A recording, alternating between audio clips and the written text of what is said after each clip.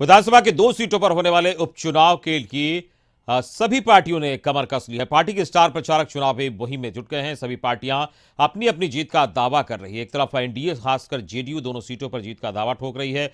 तो दूसरी तरफ़ आरजेडी का भी दावा है कि उनका भी झंडा दोनों सीटों पर फहराएगा। इन सबके बीच कांग्रेस ने भी पूरी ताकत के साथ इस चुनाव में उतरी है और जरा सुनिए कैसे नेता अपनी अपनी पार्टी की जीत का दावा कर रहे हैं।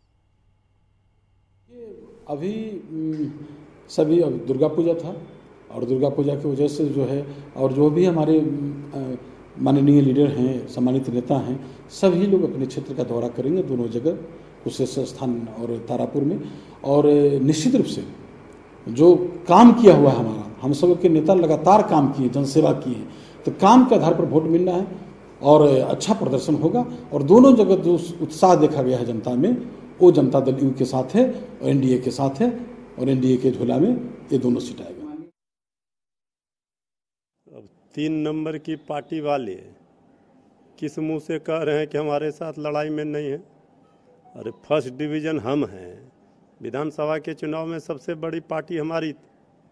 और जहाँ तक सवाल है, ये अगर दिवा स्वप्न देख रहे हैं कि महागठबंधन में फूट हो गई और कांग्रेस अलग चुनाव लड़ रही है तो उनको जीत का स्वाद जनता चखा देगी। आदरणीय लालू प्रसाद जी का जहाँ तक बात है तो वो चाहते हैं कि वो